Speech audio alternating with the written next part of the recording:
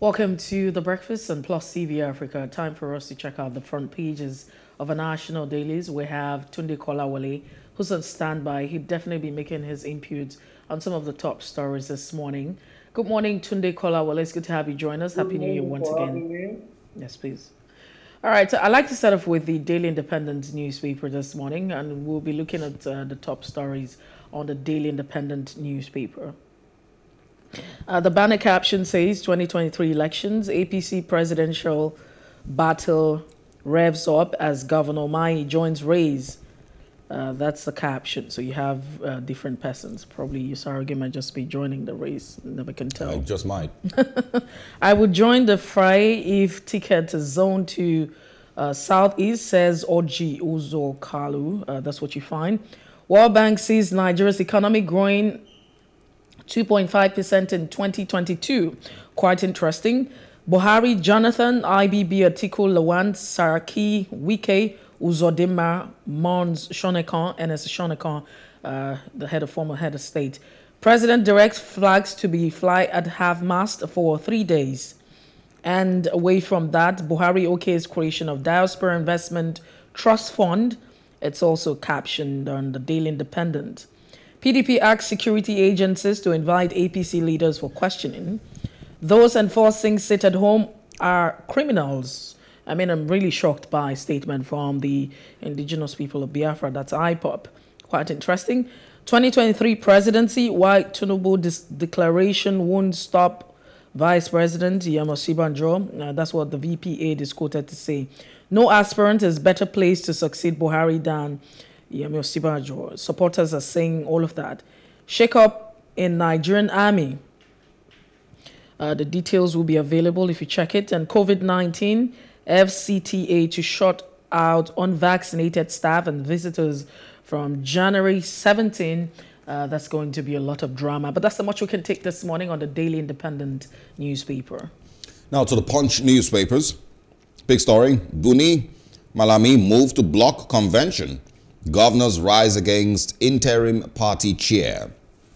Three governors, Justice Minister push consensus agenda to block Tinubu. Someone is manipulating convention not to hold, says Progressive Governors DG. And also Malami doesn't hold any position in the APC, plays no role, says uh, media aide. Umari, Umahi rather meets Buhari, declares 2023 presidential ambition. Again, suspected herdsmen strike in Ondo, killed two on a farm, gone down uh, three rescuers. Still on the punch, Workers' Union fears job losses as uh, Standard Chartered closes Nigerian branches. 2,248 megawatts of power stranded monthly in 2021 uh, despite blackouts.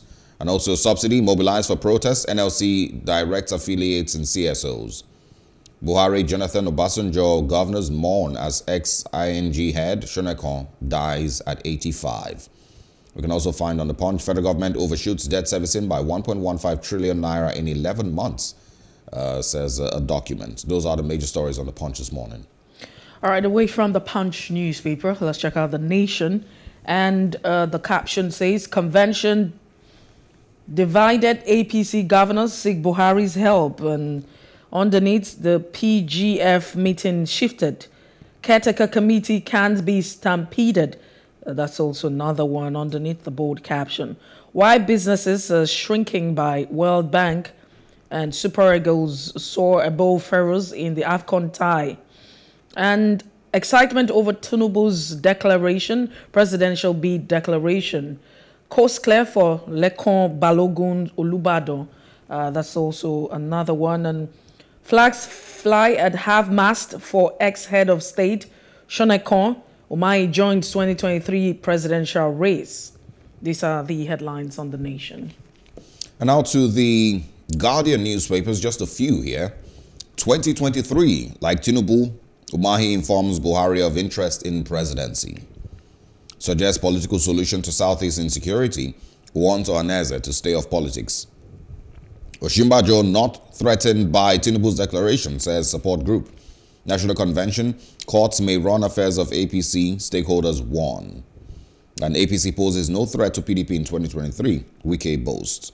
national flag uh, to fly at half-mast as Nigerians pay tributes to Shonekan. Also on the uh, Guardian this morning, Buhari OK's investment trust fund to promote foreign remittances. Bandits kill man, kidnap pregnant wife and children, others in Kaduna. IPOB disowns enforcers of sit-at-home order, condemns shooting in Enugu. 15 women, 20 children rescued and 50 others feared trapped as church collapses in Delta. I think those are the stories that we can share on the Guardian this morning. Tunde Kolawole, good morning once again. Thanks for joining us. Good morning, my brother. There's a couple of interesting stories. I'm not sure which you would like to kick off from. Well, uh, let me start from the passage of Shonekan. He is a former head of state you will recollect that when Nigeria was in serious crisis, with regards to transition from the military to civilian, and uh, the then military head of state didn't want to relinquish power, all sorts of uh, programs, all sorts of initiatives, all sorts of pressures that to air. At the end of it all, Chief Ernest Shonekan emerged as uh, head of state even though he wasn't uh, a military man. But the truth is that uh, whether it is constitutional or constitutional,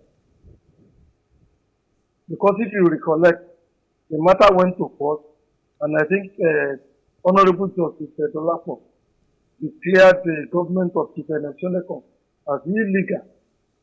But the truth of the matter is that uh, that period of our history cannot be erased and so, for that reason, he is being treated as um, a former head of state.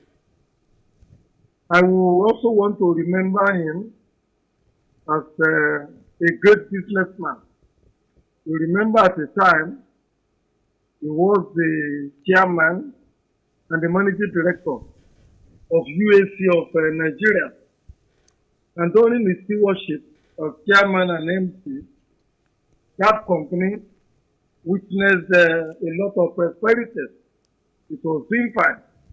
I remember it was under him that uh, Mr. Biggs, uh, an eatery business uh, started, and it was well until uh, he left. Well, the summary of it all is that uh, Chief Ernest Shonekan was uh, also a very great friend of the military. Because if he wasn't, he couldn't have been nominated or allowed to become a military head of state. Furthermore, he appears to me to be somebody who plays his politics like that of the Kaduna Mafia. He hardly addresses press conference. You hardly see him in public, but he knows what buttons to press when it comes to power articulation. He also had friends in the high places who have regard for him and for whom he also had uh, very good regard.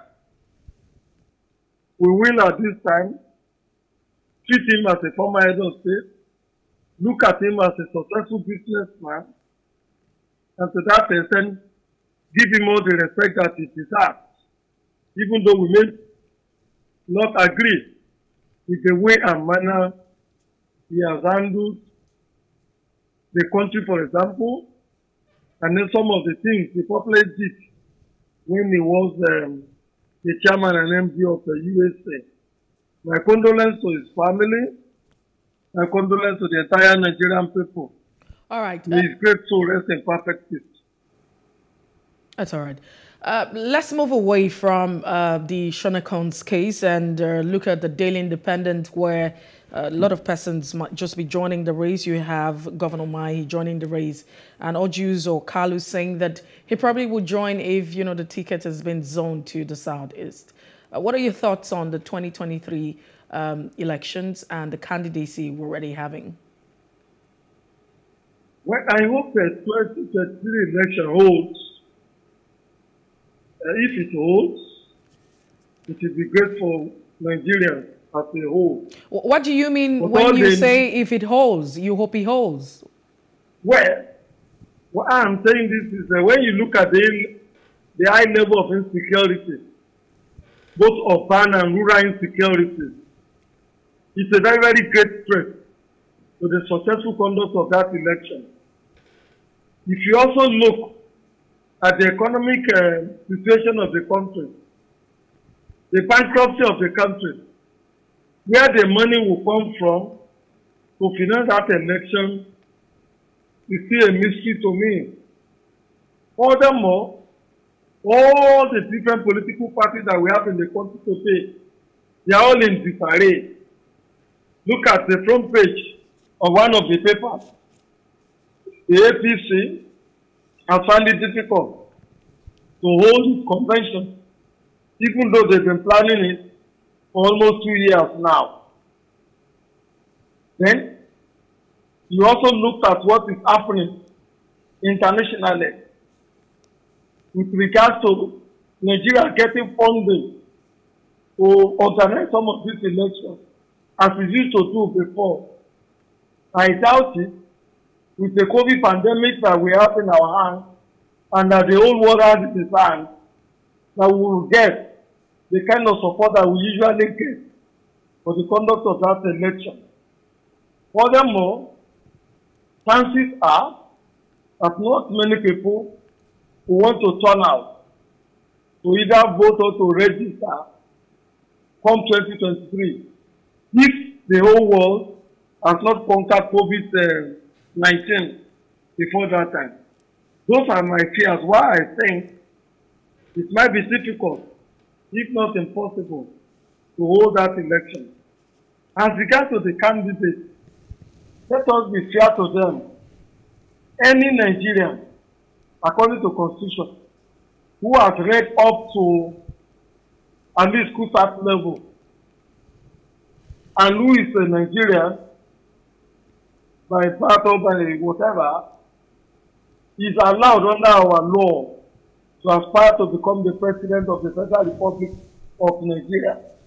We cannot be, I mean, take that away from anybody who aspires, whether it's the Umari, whether it's the Ojubo Kalu, whether it's the Asiwaju Ahmed Bola Tinubu.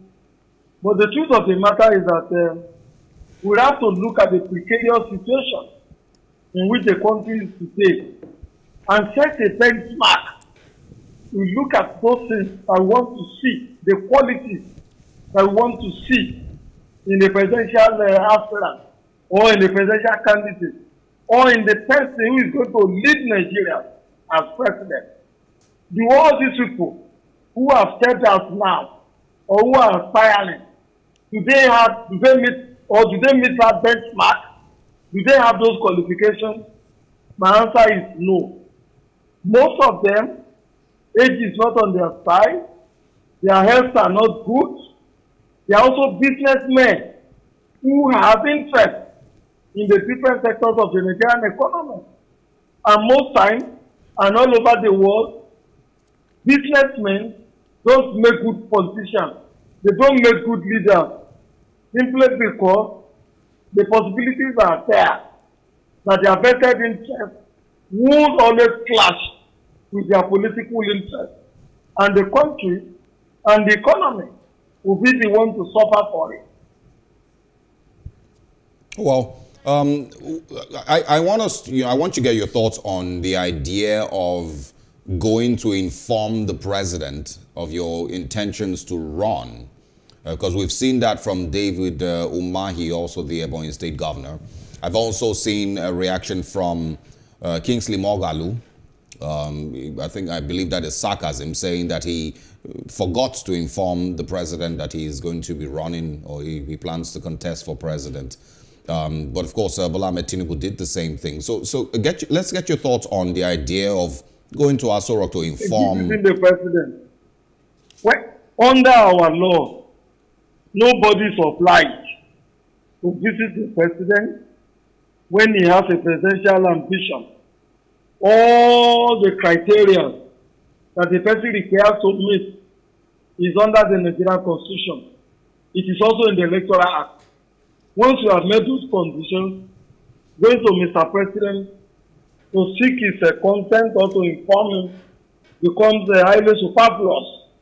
But you see, meeting Mr. President has become a tradition or a custom in Nigeria. Well, not necessarily. I, I, I, don't think we. I don't think we saw a lot of this um, bef uh, before this administration. Um, I, I, don't remember anybody approaching Goodluck Jonathan or um, former President Olusegun Obasanjo to, to tell them that they will be running for president. They do, they do. They may not do it openly. Well, it's uh, pretty much the same thing. As we are seeing it being done now. The reason being that uh, you find out if you don't have the backing of somebody like Mr. President, it might be difficult for you to achieve your ambition to become the president of the country. Because the president of the Federal Republic of Nigeria wield enormous power materially, security wise, political wise, and even within the sphere of influence of who votes for who. So it is better for anyone who has that kind of an ambition to, to take it to him and say, look, I have this ambition and seek his support. Because in politics, when you have one number in addition to what you already have, it's a plus plus for you. Furthermore, don't forget that most of these people who hold these sensitive offices, like the presidency, like the governor, like a local government chairman, most of them are driven by ego. They might see it as a slight that you want to become a local government chairman, you want to become a governor, you want to become a president without seeking their consent, without consulting them. I think that is the reason why some of these people go to the president.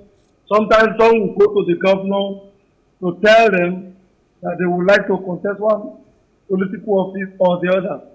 Recollect that um, Chief Abaribe has gone to the city governor in, I think, uh, is it Imo Abia, to inform him that he would like to contest the governorship of the state uh, come 2023. And um, the city governor has said that uh, his ambition will not in any way affect the conclusion of his uh, governorship or performance in office. Well, um, Tunde Kolawole, also share your thoughts yep. on the um, um, what do you feel might turn out? Because there's also comments with regards uh, uh, Vice President uh, Yemi Osinbajo's camp you know, and of course uh, his followers saying that uh, Bola Tinubu's ambition would not deter the vice president's uh, um, own ambitions, you know, if he chooses to run for president. And of course, uh, David Umahi, also of the APC. Uh, so it seems like there's going to be a couple of options that the APC, you know, well, well, a couple of people who will want to run under the platform of the APC. How do you see this playing out? Well, uh, the ambition of the VP uh, Professor Yemi Osinbajo and that of Asiwaju, for example, is a very, very big issue simply because the two of them are coming from the same camp. And you will remember that Asiwaju and his supporters, at times without number, said that um, it was Asiwaju Ahmed Bola Tinubu that nominated the VP to be the running mate to Mr. President. So if the person you nominated to be the running mate, who eventually became a vice president, is contesting election as president, and you are also interested, there is no gainsaying. There is going to be a clash of interest in that uh, area. And that takes us back to what we had earlier on discussed as to why people go to visit Mr. President to inform him to seek his consent and then ask him for support. It is because of things like this. Whoever the president supports between uh, Professor Yemi Osinbajo and uh, Asiwaju Bola Ahmed Tinubu is likely to have an edge over the other. But looking at uh, Professor Yemi Oshinbajo, he appears to be playing the game right, at least uh, up to this point. He has never tried to be cantankerous, to be too outward.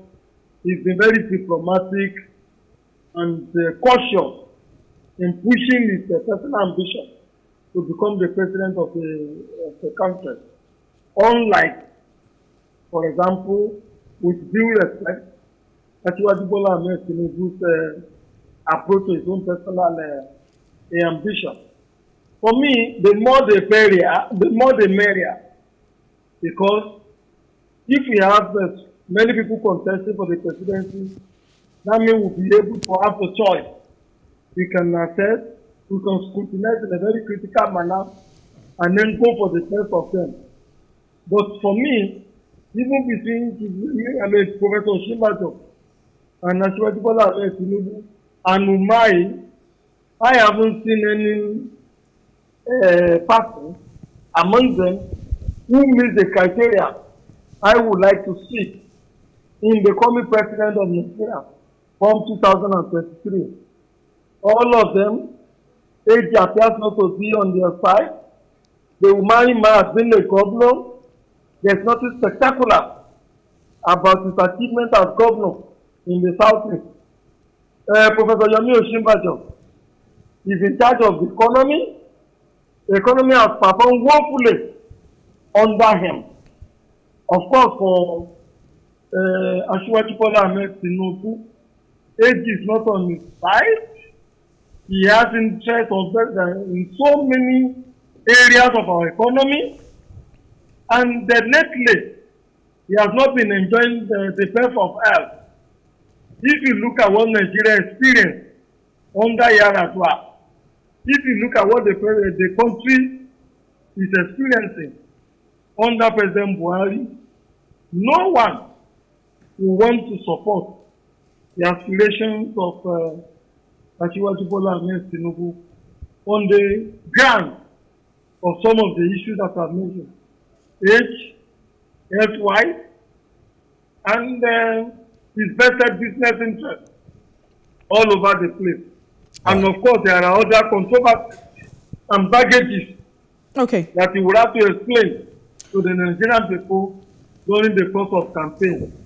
I would prefer Tunde that Kola we look for a more younger person. All right?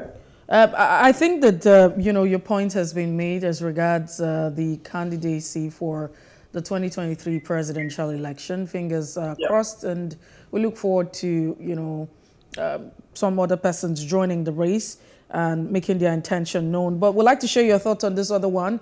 The IPOB is saying that those enforcing sit-at-home order uh, are criminals. Please repeat that again.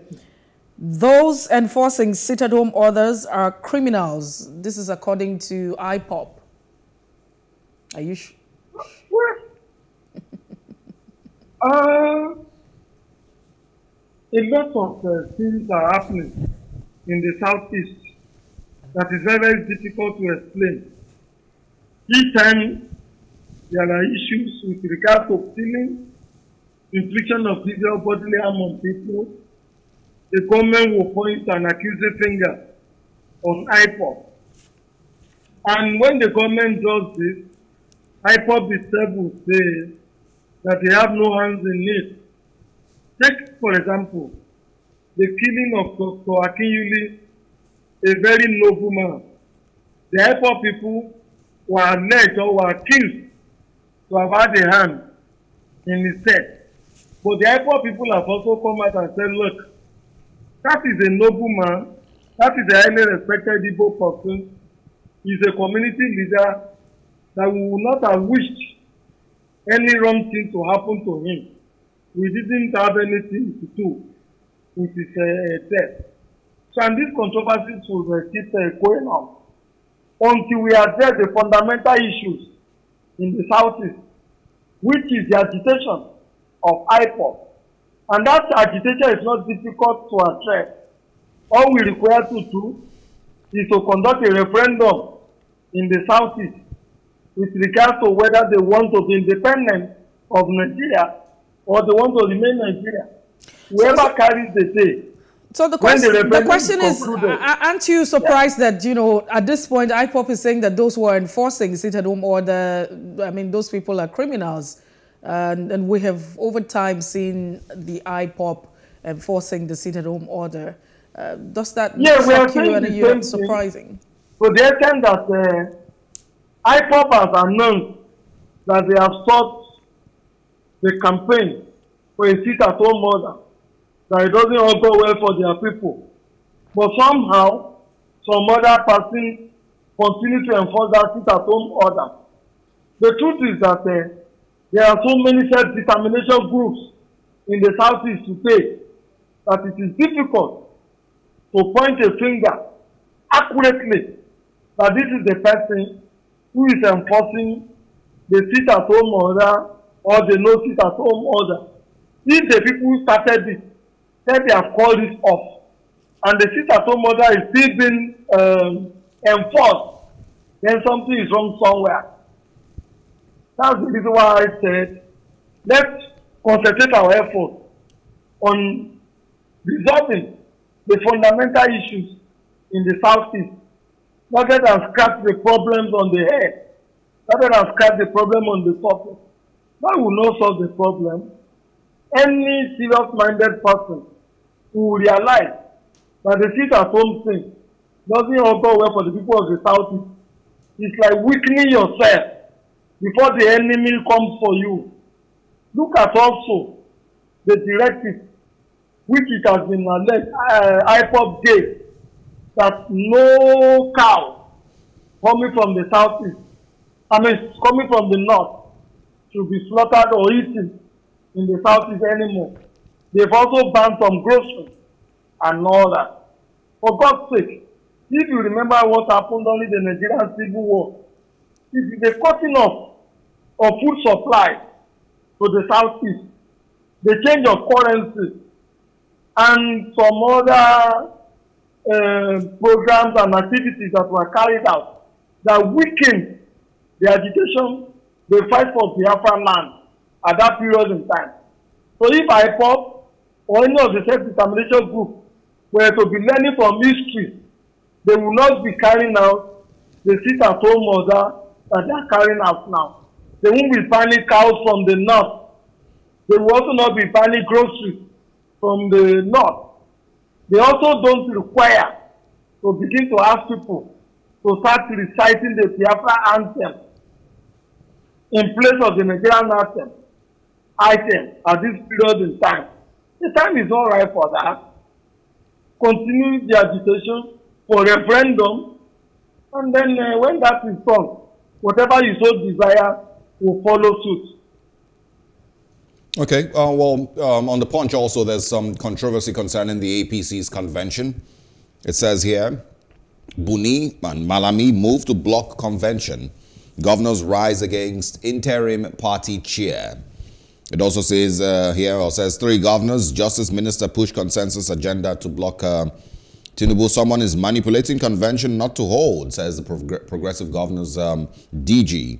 And also Malami doesn't hold any position in the APC. So, I mean, there's some confusion with regards to the APC's convention um, that was, of course, a rumor to be going on or to be um, uh, taking place in February.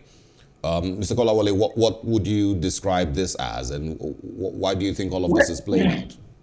Well, what we are seeing in the APC can be traced to their history. You and I will remember that that party didn't grow organically Rather, what happened was that uh, a conglomerate of different political parties came together. They called the Assembly Legacy Party. They formed the APC. And with the APC, it, uh, they used it, they used the APC as a vehicle to capture political power at state level and at the federal level. Now that election is coming and different people different individuals from the original different political parties having ambition to become president, to become governor. Then, the truth is, whoever command, whoever is in control of the party structure is likely to get whatever ticket or flag is desired. That is why you are having all these challenges with regard to holding the APC convention.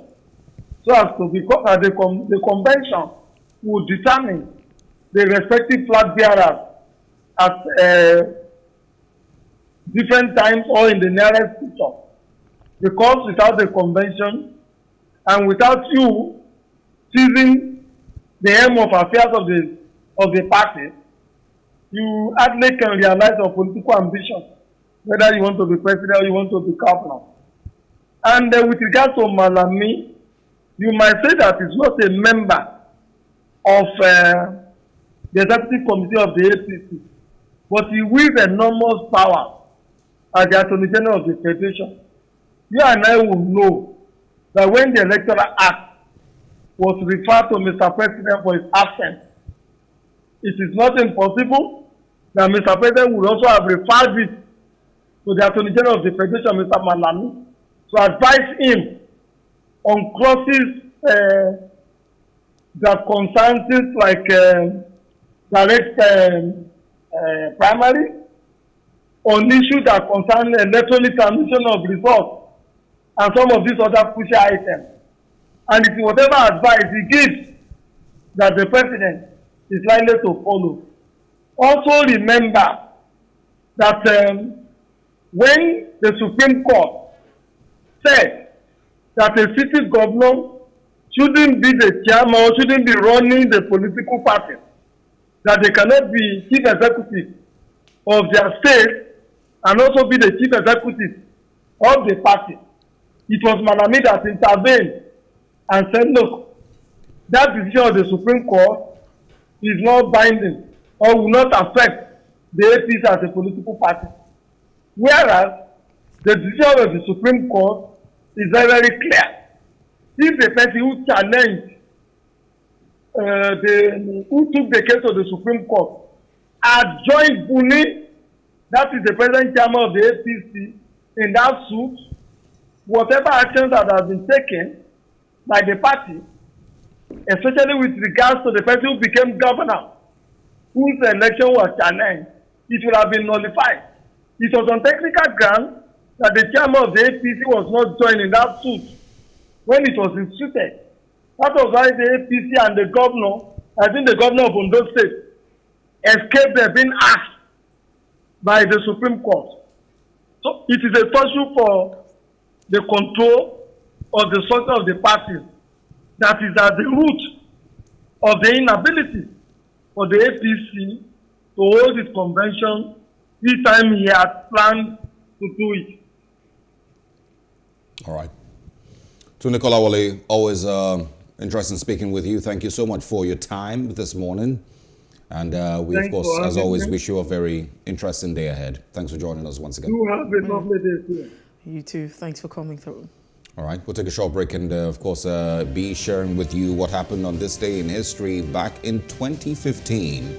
Right after that, our first major conversation comes up um, again this morning. The biggest, you know, conversation in politics in Nigeria today: political ambitions and, of course, the fate of 2023 and 200 million Nigerians. We'll be back.